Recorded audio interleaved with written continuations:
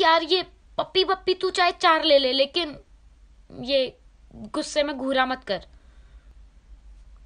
अच्छा नहीं लगता मुझे।